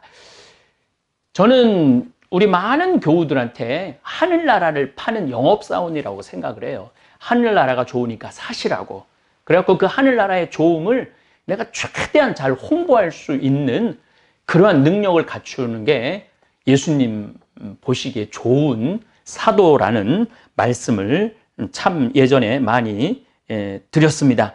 저 역시 장돌배기로 전국을 돌아다니면서 하느님 나라를 판매했습니다. 지금은 유튜브를 통해서 하느님 나라를 팔고 있습니다. 하느님 나라 좋다고 아, 이렇게 많이 얘기를 하죠. 이 유튜브가 엄청난 공간입니다. 아, 3월 16일 날 제가 귀국 보고라는 제목으로 강의를 올렸는데 5일 만에 시청하신 분들이 16만 명입니다. 5일 만에 방탄소년단이 뉴저지 맷라이프 스타디움에서 8만 명을 상대로 공연을 했는데 제 강의는 이 두 배의 시청자들이 시청을 한 것입니다. 그러니까 이렇게 제 이 거실에서 제 조그만 내 비밀의 공간, 어, 내 정원에서 이렇게 찍지만은 이 시청하는 분들은 맨 라이프 스타디움에서 그 어마어마한 음, 사람들이 음, 모여서 지금 각자 방에서 전 세계에서 시청을 하고 있는 것이죠. 그렇기 때문에 저는 이 유튜브 공간이 이제는 복음을 전할 수 있는 기가 막힌 소통의 공간이라는 생각을 해서 어, 하루 종일 책상에 앉아서 자료 정리하고 또 묵상하고 어떻게 하면은 이 시대의 흐름을 또 하느님의 뜻을 전할까 참 음, 많은 고민을 하고 공부를 합니다. 이제 시대는 바뀌어서 장돌배기로 이장 저장을 떠돌아다니지 않아도 생각을 함께 공유할 수 있는 기가 막힌 시대가 왔죠. 예, 스마트폰, 그 스마트폰이 연 또 다른 세상이기도 합니다. 이효석 선생님께서 쓰신 메밀꽃 필 무렵을 읽어보면 장돌배기의 삶을 참 잘 그려놓은 이야기입니다. 그런데 이 메밀꽃 필 무렵과 우리 평창 성필리포 생태 마을의 관계는 특별합니다. 소설 속의 허생원은 평창장, 대화장, 봉평장, 이제 마지막으로 장평장으로 떠난다는 얘기가 나옵니다. 평창에서 만난 동이라는 젊은이는 제천에서 태어났다고 그러죠. 우연하게 평창장에서 만나 동행을 시작하게 됩니다. 그런데 이 동이는 제천에서 태어납니다. 다시 말해서 제천에서 평창까지 오는 데는 반드시 지금 성 필리포 이 자리를 지나야 합니다. 에, 무슨 얘기냐면은 제천에서 주천, 주천에서 판운으로 넘어와서 이제 강 따라 쭉 오는 거죠. 판운에서 이곳에 딱 도착을 하면은 여기에서는 길이 없어요. 이 나루터를 건너가야 돼요. 그래서 요 건너편에 비석이 있어요. 음, 100년 전 나루터, 나루터라고 써 있어요. 그래서 요 건너편에는 나루터입니다. 그리고 요 자리는 바로 요 자리, 요 자리예요. 요 자리는 뭐가 있었느냐면 주막이 있었어요. 주막이. 이건 제 생각에는 500년 전에도 요 자리가 주막이 있었고 100년 전에도 이 자리가 주막이 있었을 것입니다. 바로 이 자리에 제가 생태 마을을 꾸미고 살고 있죠. 어, 우리 이효석 선생님께서는 어, 진부에서 태어났어요. 하진불이라는 곳에서 태어나셨고 또 진부리에 묻히시죠. 1973년 영동 고속도로 공사 때 평창 그때는 평창 분들이 봉평이나 진부에 계신 분들이 이 여기에 얘기를 했다고 그래요. 어, 그 자손들이 우리 에, 아버지 이제 영동 고속도로 때문에 묘가 옮겨야 되니까 어떻게 여기서 할 수 없느냐고. 그때는 1973년도에는 문학가가 얼마나 위대한 사람인지 몰랐던 거예요. 그래갖고 어, 봉평에다 모시지 못했죠. 파주 공원묘원으로 지금 가 계세요. 이효석 선생님. 어, 묘는 거기 있습니다. 참 기가 막히죠. 우리가 봉평 메밀꽃 어, 축제를 9월 달에 보통 하는데 한 100만 명 정도 모인다고 그래요. 100만 명 정도. 무슨 경제적인 효과의 문제가 아니라 사람들은 이 문학에 대한 그리움이 있어요. 만약에 이효석 선생님의 묘가 그 물레방아 옆에 있었다면 제가 보기에는 100만 명이 오는 게 아니라 300만 명, 500만 명이 이, 올 겁니다. 그런데 그 문학가의 그 귀중함을 그러니까 예술의 귀중함을 그때 시대 때는 몰랐던 것이죠. 어쨌든 평창 초등학교를 6년을 이효석 선생님이 다니셨어요. 그렇기 때문에 이효석 선생님은 제천, 주천, 평창, 대화. 제가 이제 그 메밀꽃 필 무렵의 길을 말씀을 드리는 거예요. 대화. 그 다음에 그 유명한 봉평. 물레방앗간에서 하룻밤에 만난 그 여인과 사랑에 나누는 그러한 얘기죠. 그래서 이 자리가 이 이효소 선생님이 이 자리를 분명히 알고 계셨, 우리 생태 마을을 분명히 알고 계셨던 것이죠. 그래서 저는 그런 그 연계성을 갖고 있으면서 이곳은 많은 사람들이 쉬었다 갔던 장소예요. 그렇기 때문에 성필리포 생태마을 피정의 집, 온 세상을 떠돌아다니는 나그네들이 아, 이곳에 와서 쉬고 가는 그런 기가 막힌 공간으로 재탄생했죠.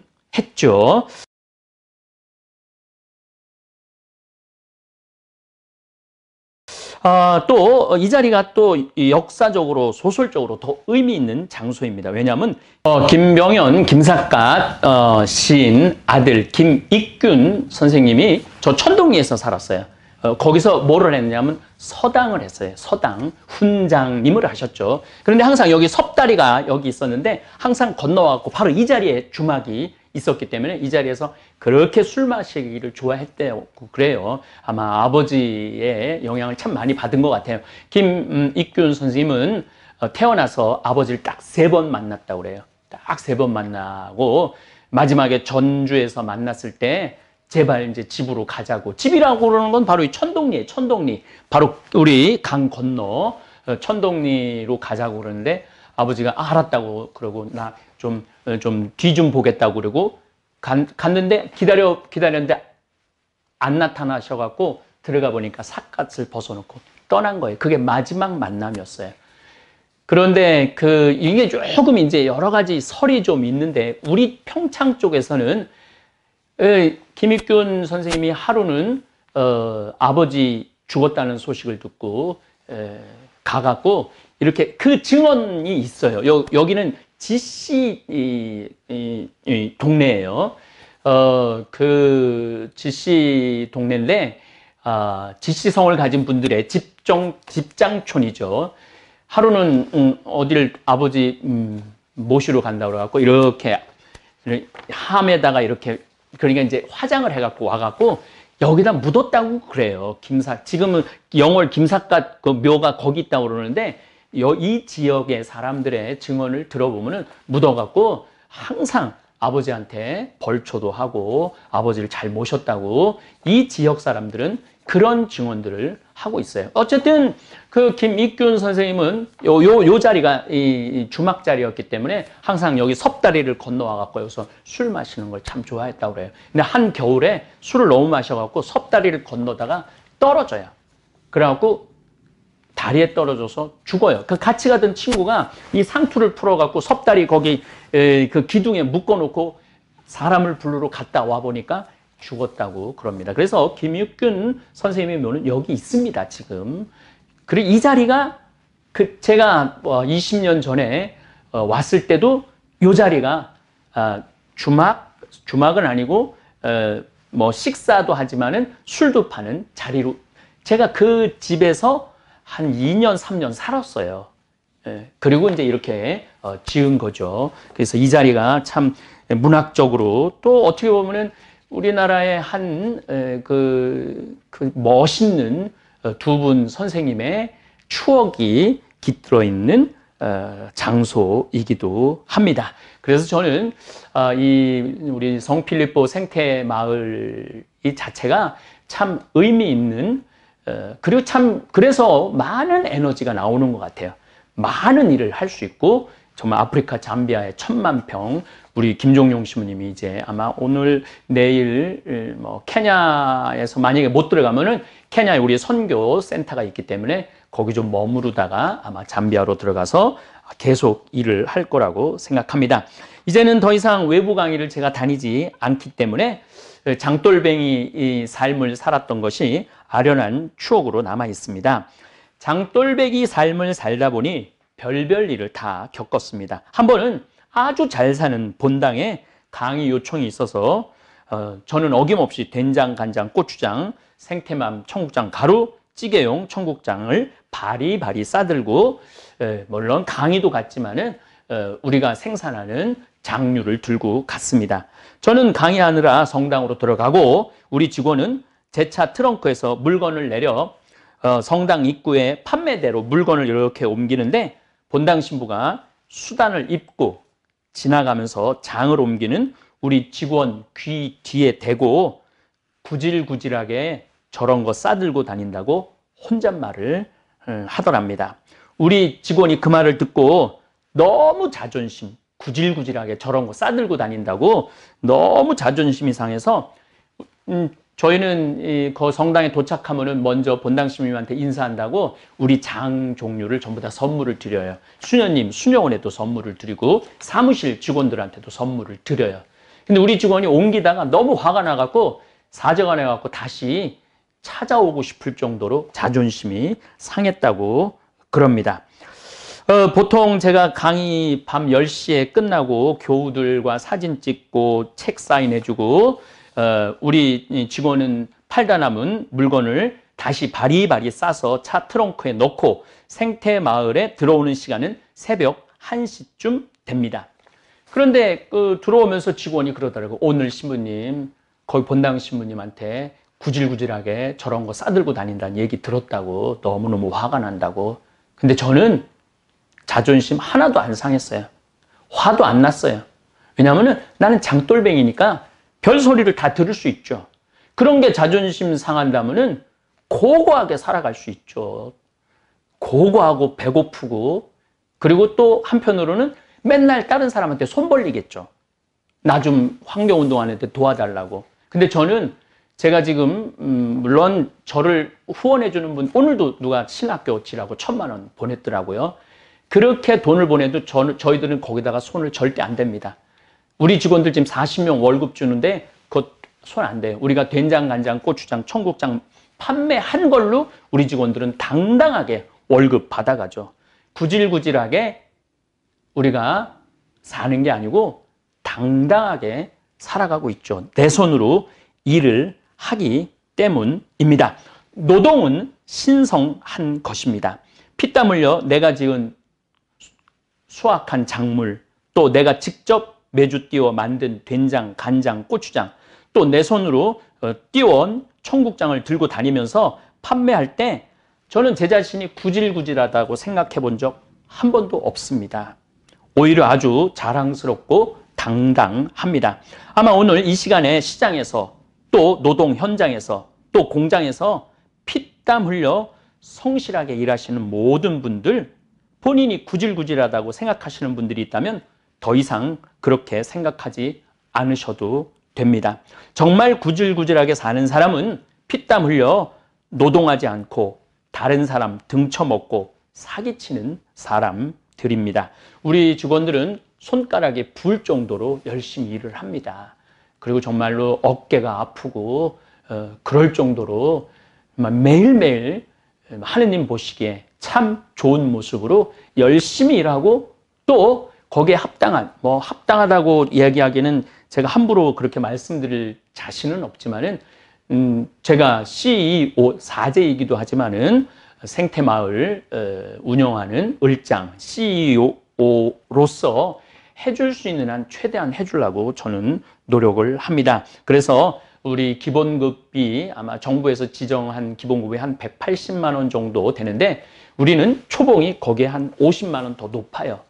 그래서 에, 최대한 에, 잘해주고 싶고 긍지, 자긍심 가지라고 어, 항상 제가 말씀을 우리 직원들한테 이야기를 하죠. 절대 내가 된장간장 고추장 들고 다니는 거 구질구질한 거 아니에요. 만약에 마음에 안 들면 안 사면 되는 거고 또 뭐 가끔은 아예 못 갖고 오게 할 때도 있어요. 그야말로 허탕 칠 때가 있죠. 그럴 때는 저는 또 강의 또 뭐 즐겁게 하고 그렇게 이렇게 세월 세월 흘러서 20년의 시간이 지났습니다. 아, 요즘 음, 바이러스 때문에 많은 중소업자들 또 어, 소상인들 참 힘들어 하죠. 에, 음, 정말 내가 왜냐하면 제가 구질구질한 남들이 보기에 구질구질하게 그런 거 들고 다니면서 판매 저는 뭐 당당하게 했지만은 그렇게 하루하루를 하루하루 싸가는 거죠.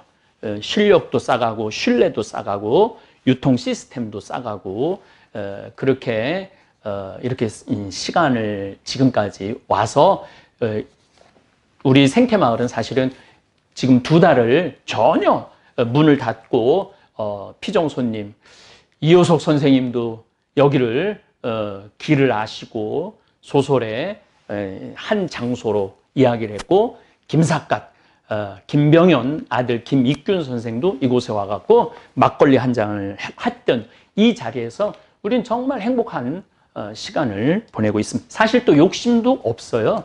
뭐 여기서 제가 떼돈을 벌고 싶은 생각도 없어요.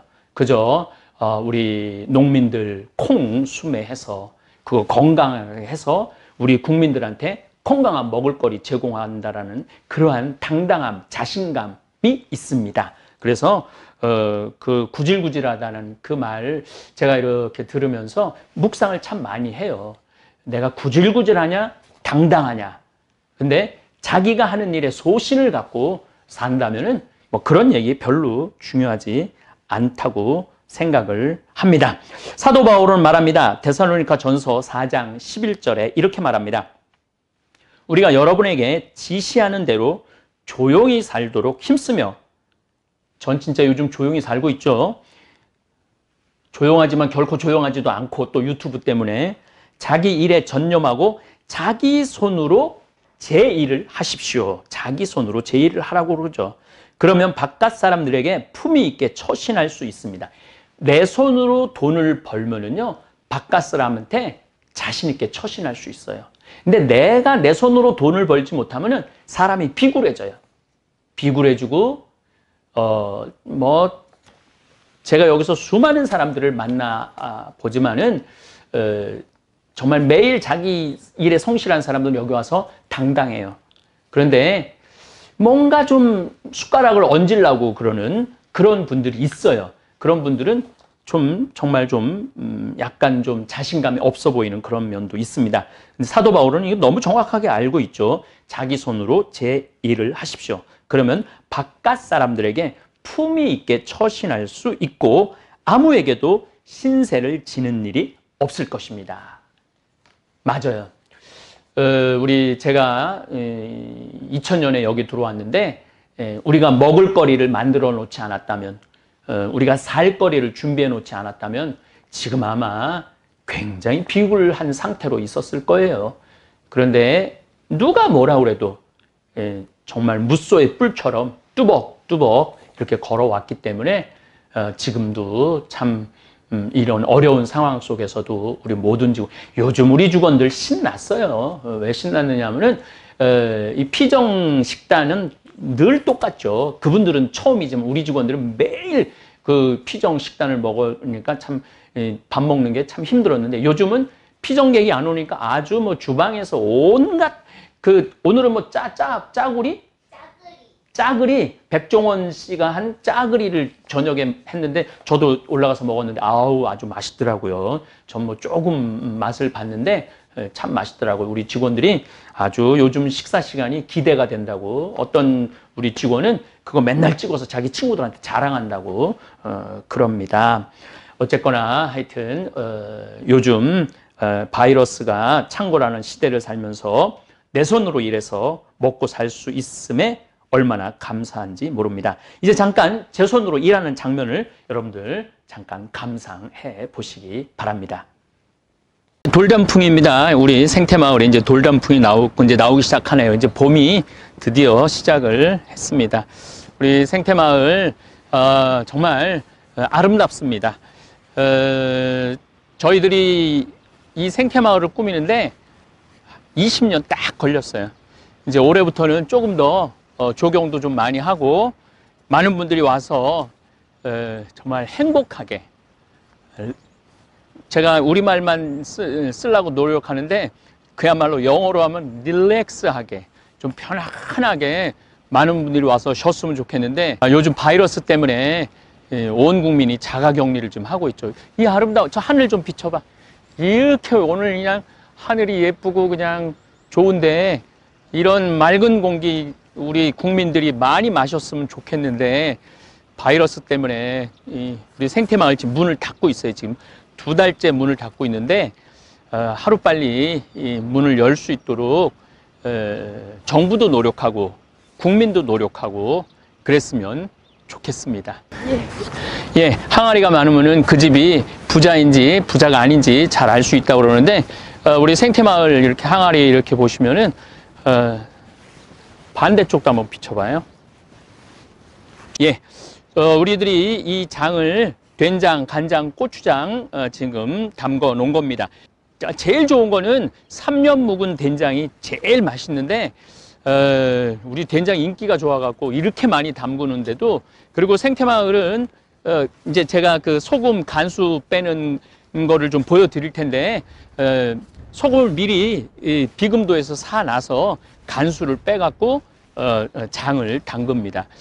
제가 늘 드리는 말씀이지만 우리 생태마을의 장은 어, 매주 띄워갖고 어, 또 어, 그걸로 어, 비금도 물로 된장, 간장, 고추장. 고추장은 뭐 좀 다른 음, 성격이 있죠. 고춧가루. 물 고춧가루도 당연히 우리 생태마을에서 생산한 고춧가루로 고추장을 담급니다. 이게 메주가 아, 온 우주가 들어있다고 그래요. 이게 메주가 왜 이 온 우주가 들어, 담을 수 있느냐 하면은 화. 이 콩을 삶을 때 불로 삶, 삶잖아요. 벌써 불 들어갔죠? 수. 콩 불릴 때 물 좋은 물로 어, 콩을 불리잖아요. 그수 들어갔죠. 목, 나무. 나무는 아, 우리들이 나무로 어, 불을 뗄 때 그 나무도 어, 들어가죠. 그 다음에 금, 쇠솥에다가 어, 삶죠. 그 다음에 토, 흙, 흙에다가 황토에다가 어, 띄우죠. 그래서 이렇게 메주를 이렇게 만드는 만드는 그 과정이 우주를 담는 과정이라고 그래요. 우주를 담는 과정. 그래서 우리는 그냥 단순히 메주를 먹는 게 아니라 어, 우주를 먹는 거죠. 우주.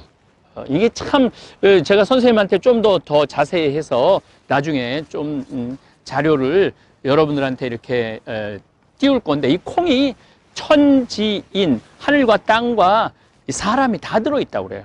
이 콩 안에. 그래서 그 콩 백태 안에 보면은 그 천지인의 모습이 다 들어있다고 그래요. 그래서 우리가 된장, 이 된장은 제가 보기에는 어, 우리 대한민국 한민족의 지혜가 들어있는 음식이 된장인 것 같아요. 어, 생태마을 된장은 그래서 짭니다. 왜 짜냐 하면은 다른 방부제를 넣을 수 없기 때문에 방부의 역할은 소금으로밖에 못해요. 저는 너희는 세상의 빛과 소금이다라는 말씀을 예수님 2000년 전에 하셨죠. 소금. 2000년 전에 예수님께서 소금이 얼마나 중요한지 아셨던 거예요. 그래서 너희는 세상의 빛과 소금이다. 소금은 그래서 우리 인간 그 삶 안에 빠질 수가 없는 거예요. 그러니까 오죽하면 금이라고 그러겠어요. 황금, 소금. 그리고 더 중요한 건 제가 말하죠. 금 중에 진짜 중요한 금은 지금이에요. 지금. 지금 행복하지 않으면은 내일도 행복할 수 없어요. 지금 우리가 지금 바이러스 때문에 고통을 겪고 있는데 아, 이런 일이 벌어질지 2020년 시, 경자년 시작하면서 어떻게 알았어요? 아무도 몰랐죠. 이런 일이 벌어질지 희망찬 2020년 그러고 시작했는데 이 전 세계가 지금 완전히 그냥 올 수도 없된 거 아니에요. 전 세계가. 그리고 서로 담을 쌓고 벽을 치고 예, 스스로의 감옥에 갇혀서 살잖아요. 그래서 내일 일은 모르는 것 같아요. 내일 일은. 그래서 제가 가끔 내일 일은 난 몰라요. 그 노래를 가끔 부르는 이유 중에 하나가 내일 일은 몰라요. 그래서 지금 그리고 지금 소금 아, 이 소금이 굉장히 중요한 역할을 합니다. 이제 오늘 3월 20일인데 아주 뭐 봄 볕이 어제는 막 태풍 같은 바람이 불더니 지금 봄볕이 들어서 우리 생태마을에 지금부터 이제 장 익는 냄새가 나기 시작해요. 그럼 참 구수해요. 장 익는 냄새가 어, 너무너무 좋은 것 같아요. 제가 간장차 얘기도 하죠. 뭐 제가 보기에는 지금 뭐 음, 바이러스 때문에 많은 사람들이 힘들어하는데 면역력 키우는 게 참 중요한 것 같아요. 면역력. 물론 뭐 면역력 키운다고 다 바이러스에 안 걸리는 건 아니지만은 어느 정도 우리가 면역력을 가지려면은 이 장류를 먹어야 돼요. 어, 우리 된장은 재래식이라고 지금 계속 말씀드리죠. 그렇기 때문에 짜요. 짜기 때문에 도시에서 그 누런 된장 어, 그런 된장하고 맛은 달라요. 조금만 넣어서 그냥 끓이시면은 된장국이든 된장찌개든 된장찌개도 조금만 넣어서 끓이, 끓이시면 돼. 많이 필요 없어요. 워낙 이 안에 좋은 균들이 아주 집합되어 있기 때문에 아, 저희들이 지금 여러분들한테 된장을 한번 보여드리도록 하겠습니다. 한번 팀장님 한번 열어보세요. 네. 이렇게 우리들이 지금 항아리에다가 이렇게 보자기를 이렇게 했는데 옛날에는 광목을 썼는데 광목을 써다 보니까 자꾸 곰팡이가 생겨요. 그래서 우리 직원들이 예, 항아리를 이렇게 할 때 정말 나도 처음 봤네. 이렇게 예쁘게 그냥 이렇게 하는 줄. 정말 정성스럽고 예 정말 정성스럽고 예쁘게 이걸 뭐라 그러지? 이, 이 이런 이런 거를 보재기라고 그러나? 보자기. 어, 어, 보자기. 어, 네. 보자기 이 보자기로 이렇게 예쁘게 예, 매듭을 쳐서 어, 벌레도 안 들어가게 하고 먼지도 안 들어가게 하고 어, 정말 먼지가 이렇게 요- 위에 이렇게 이렇게 있네 안 들어 못 들어가게 이제 음, 보통 우리가 한참 이거 익을 때 이게 뚜껑을 열어두잖아요. 네. 예, 한참 익, 익을 때는 뚜껑을 열어둬서 어, 이 태양빛, 공기 이런 모든 것이 숙성이 아까 제가 말씀을 드렸죠. 어, 화, 수, 목, 금, 토가 다 들어있다고. 자, 장을 드디어 한번 개봉을 해 보겠습니다.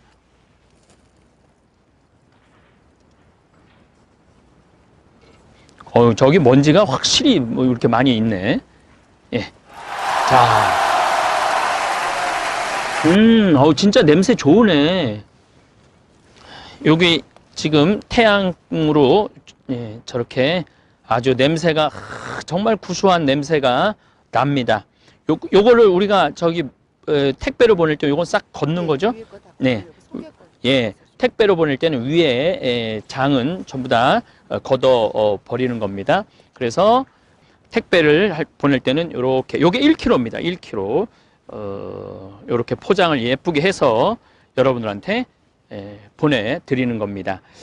어, 요 정도면은 보통 일반 가정에서 얼마나 먹을까요? 저는 일주일에 된장찌개를 두 번 내지 세 번을 먹어요. 어, 저 밥 해주는 분한테 그냥 해달라고 그래요. 난 오늘 된장국 먹고 싶다. 된장찌개 먹고 싶다. 왜냐하면 이 된장국이 참 구수한 게 참 맛있는 것 같아요. 에, 그래서 여러분들 어, 제가 오늘 이렇게 이제 특별히 오늘 3월 20일 날 뭐, 어, 어, 우리 이제 이 생태마을 이 돌아가는 거 뭐 지금 자가격리들 하시니까 답답하잖아요. 더욱이 면역력을 키워주는 음식으로는 우리 생태마을 이 장이 최고인 것 같아요.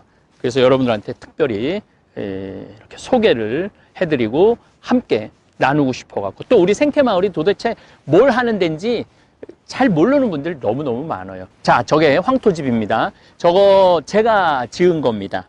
에, 믿어지지 않으시겠지만은 제가 포크레인으로 해갖고 제가 지은 건데 아, 기운이 다 딸려갖고 저 에, 위에다가 에, 사실은 그 노르웨이에 가보면은 저 위에다가 잔디를 심어갖고 꽃을 올리는데 그걸 하고 싶었는데 아 기운이 딸려갖고 저기까지 밖에 제가 못했어요. 기운이 딸려서 지금도 뭐 많은 분들이 이곳을 많이 이용을 합니다. 제가 이제 한번 저기도 지금 음, 한 우리 은퇴하신 아주 아주 높은 공무원 하시고 에, 출입국 관리 국장까지 하신 분이 지금 저곳에서 한 10년 정도 지금 살고 계신데 저것도 제 손으로 지은 겁니다. 네. 제가 가장 좋아하는 텔레비전 프로그램은 나는 자연인이다입니다. 어, 그걸 보고 있으면은 마음이 그렇게 편안해요. 자연인들 이렇게 이제 뉴스를 먼저 보죠. 그 정치인들 막 모습 보다가 자연인들 모습 딱 보면은 마음이 너무너무 편안해요. 그래서 저 역시 자연인으로 살고 있죠. 자연인으로 살고 있는데 제가 천주교 신부기 때문에 천주교 사제이기 때문에 공적인 사람이기 때문에 그 혼자서의 유유자적을 누릴 수는 없죠. 또 물론 제가 혼자서 유유자적을 누린다면은 사제가 될 이유가 없죠. 많은 교우들한테 위로를 하고 또 많은 교우들한테 하늘나라의 신비를 알려주고 어, 또 이 지구가 조금 더 건강해질 수 있도록 노력하는 것이 제 사명이죠. 하지만은 올해 어차피 이 바이러스 때문에 자가 격리 상태에 있기 때문에 올해는 좀 나는 자연인이다라는 음, 마음으로 살고 싶고 생활 패턴도 그렇게 살고 싶어요. 그래서 여러분들한테 요거는 지금 이 꼭지 말고 다른 꼭지에 제목 자체가 나는 자연인이다 라는 꼭지로 여러분들한테 제가 한번 어, 황토집 짓는 과정, 또 농사 짓는 과정, 어, 또 어, 유기농으로 농사를 어떻게 짓는지 이런 것들도 한번 담아서 시리즈로 한번 여러분들한테 보여드릴 거예요. 그래서 사실은 이것도 나는 자연인이다의 일부분이죠. 예. 제가 이 된장, 간장, 고추장, 그 다음에 생태맘, 청국장, 가루 만들려고 그랬던 이유 중에 하나가 우리 농민들 여저 대, 저기가 이제 마질이 대상리 대하리 뭐 대상 1, 2, 1, 2, 2리 뭐 다 그러죠. 하리, 중리, 상리 뭐 이거 다 이제 이게 일제 잔재죠. 일제 잔재, 북리, 남리 뭐 이런 것들도 다 일제 잔재의 에, 언어들이에요. 그래서 요즘은 뭐 김삿간면 뭐 어, 뭐, 아주 이 좋은 이름들로 바꿔가고 제가 굉장히 기분이 좋아요. 에, 그렇게 건강한 모습으로, 에, 어제도 차탄체 에, 검진한다. 그 참, 우리 대한민국 사람들이 보면은 굉장히 건강한 생각을 많이 갖는 것 같아요. 어, 저희들이, 아, 2020년 경자년, 어, 간장, 어, 담그는 모습 여러분들한테 보여드리도록 하겠습니다. 매주를 저희들이 한 60일 정도 띄웁니다. 60일 정도 띄워갖고 어, 정월 안에 아, 소금 18도, 염도 18도를 맞춰서 우리는 비금도 소금을 씁니다. 간수를 한 3년 정도 어, 빼죠. 3년? 네, 3년 정도 간수를 제가 이제 나중에 이제 소금도 저희들이 한번 보여드리도록 하겠습니다. 간수를 빼서 어, 정월 안에 2월 7일 정도 했습니다. 그리고 한 50일 정도 담그고 난 다음에 장가르기를 합니다. 여러분들 이렇게 보시면은 어, 숯이 있는데 이거 숯은 매주의 독성을 빼는 거예요.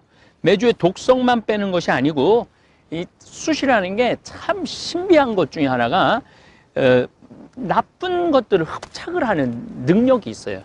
숯이. 그래서 여러분들 그 수돗물 이렇게 드실 때 아주 특별한 삼투압 그 서울은 지금 삼투압으로 수돗물을 정화를 해서 먹는데 그러지 않는 한 대개 백탄으로 마지막으로 걸러서 여러분들 집으로 가는 거예요. 그래서 숯이 우리 생활 안에 쓰여집니다. 그리고 이제 고추가 있는데 이 고추는 칼칼한 맛도 냅니다. 이 붉은 고추는. 근데 또 우리 전통적으로 나쁜 액을 막아주죠. 제가 말씀드렸죠. 그냥 간장 매주 그냥 이게 그냥 화학 제품으로 하는 게 아니라 우주를 담는 거예요. 화수, 목 금, 토. 우주를 담고 천지, 인을 담는 거예요. 그 기운을 담는 거죠. 그래서 여기다 새끼줄을 이렇게 치는 이유도, 이유 중에 하나도 그 액을 막, 막, 막는 거예요. 새끼줄 여, 많이 치죠, 여러분들. 그 금줄 할 때, 애기 태어날 때 새끼줄 하죠. 또 언제 새끼줄을 쓰느냐면은 부모님 돌아가셨을 때 머리에, 대개 며느리들이 머리에 많이 하고 아, 아들들은 허리에 많이 하죠. 뭐, 에, 머리에도 하고 허리에도 해요. 물론 죄인이라는 의미도 있지만 시신 앞에 있으면서 그 액을 쫓아내기 위해서 쓰는 거죠. 그래서 이렇게 단순히 과학적으로만 할 수 있는 게 아니에요. 장이라는 것 자체가. 그 다음에 대추는 자손도 좀 많게 하고, 어, 당연하죠. 이 건강한 음, 간장으로 음식을 해 먹으면은 자손이 많이 생기죠. 요즘 불임이 자꾸 생기는 이유도 중에 하나도 된장간장 고추장을 안 먹고 인스턴트 음식만 먹기 때문에 여자 젊은 여자 아이들이 이 자궁에 문제가 생기는 거예요. 그래서 예전에 뭐 제가 한참 말씀드렸지만은 자궁에 임신을 할 수 있는 지수가 있어요. 근데 많은 경우 여자아이들은 임신할 수 있는 지수가 다 안 되는 경우가 많아요. 그래서 요즘 그렇게 결혼을 해도 애가 없는 이유 중에 하나가 이 장을 안 먹어서 그래. 된장, 간장, 고추장으로 만든 어, 뭐 된장찌개라든지 된장국이라든지 뭐 이런 것들. 그래서 이 제가 이 이런 생태 마을을 운영하면서 어 이런 것에 대해서 사실 굉장히 확신이 있어요. 확신이. 그 우리 음 내가 한번 음, 정말 잘 사는 본당에 이 강문 때 계속 오늘 말씀드리지만 구질구질하다고 그렇게 표현했는데 이 저 이게 어떻게 구질구질해요? 이 이게 이게 온 우주의 신비를 시- 담, 담은 거고 우리 이 국민의 건강을 또 우리 유튜브 구독자들 우리 되살림 회원들 건강을 책임지는 건데 그래서 저는 어, 뚜벅뚜벅 이제까지 걸어왔어요. 20년 동안 뚜벅뚜벅 걸어왔고 또 앞으로도 뚜벅뚜벅 걸어갈 거고 누가 뭐라 그래도 저는 제가 하는 일에 확신이 있고 자부심이 있어요. 제가 하는 일에. 예, 그리고 이런, 이런 기가 막힌, 아, 여러분들, 원래 장은 이게 굉장히 신성한 거기 때문에 막 아무 데나 이렇게 펼쳐져서는 안 돼요. 그래서 우리가 돌담으로 전부 다 쌓고 기와로 전부 다 둘러놓은 거예요. 기와로 둘러놓고 그 안에 어, 장을 보관을 하는 거죠. 그래서 가장 결례가 뭐냐면은 남의 집 장독 열어보는 거. 그게 가장 큰 결례예요. 그 더욱이 남의 집 장독 열어보는 것도 결례지만 손가락으로 찍어 먹는 거. 이거는 뭐 말할 수 없는 결례죠. 왜냐하면은 그 장, 장을 담그는 거는 그 장을 담그는 사람의 소양도 있는 거예요. 어떤 마음으로 이 장을 담그느냐. 또 이 장하고 그집 어, 며느리하고 이게 잘 맞아야지 장맛이 나는 거지. 이 맞지 않으면 또 장맛이 확 안 나는 경우도 참 많습니다. 한번 뭐 나는 뭐 이 장을 너무너무 좋아하는 사람이니까 한번 지금 이제 장가를 내면은 이제 보름 후에 이제 할 건데 제가 미리 조금 맛을 보도록 하겠습니다. 어.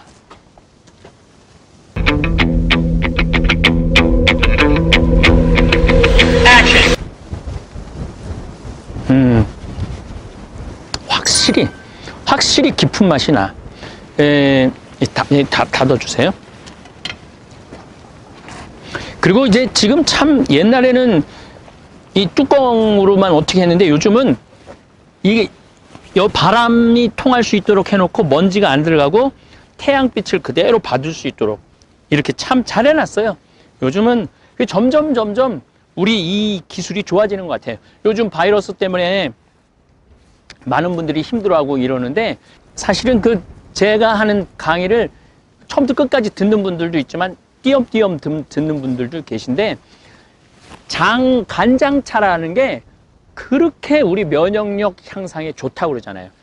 요 정도 되는 거에 바- 반 정도 숟가락의 반 정도 여기다가 넣어서 그냥 차 마시듯이 마시면은 관절 아픈 분들도 좋고 뭐 여러 가지 몸 안 좋은 분들도 좋다고 그래요. 돈 들어가는 거 아니에요. 우리 조상님의 지혜가 들어가 있는 거를 먹는 거죠. 네. 잘 보셨습니까?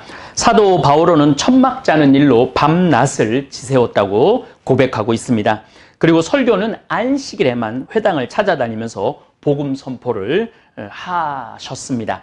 아, 제가 어, 예수님은 장돌뱅이라고 또 바오로 사도 역시 장돌뱅이라고 말씀한 게 대개 안식일만 거의 모임을 가졌어요. 물론 중간에 한 목요일에 한 번 또 모임을 갖기도 이 회당 시나고게 예전에 유대인들은 어, 그런데 주로 안식일에 이렇게 이렇게 이 시나고게 그 갈릴리아는 일곱 개 시나고게가 있었다고 그래요. 회당이. 그래서 어, 한 음, 주간에 한 군데씩 떠돌아다니면서 마치 우리 5일장 다니듯이 예수님께서 이렇게 하늘나라를 선포하셨죠. 저는 생태 마을에서 하는 일이 얼마나 자랑스럽고 당당한지 모르겠습니다. 오늘을 고단하게 살아가는 모든 분들에게 저는 위로하고 싶습니다. 절대 구질구질한 삶이 아니라고 이야기는 또 내일 제가 이어서 노동의 신성함에 대한 말씀을 드리도록 하겠습니다. 귀양 오늘 우리 김사간 얘기를 나왔으니까 우리 음, 방랑시인 김사간 어, 시를 아 예전에 아주 재미나게 읽었던 시입니다. 그래서 그 시를 하나 읽어 어, 드리도록 하겠습니다. 제목은 시시비비입니다. 이해 저해 해가 가고 끝없이 가네.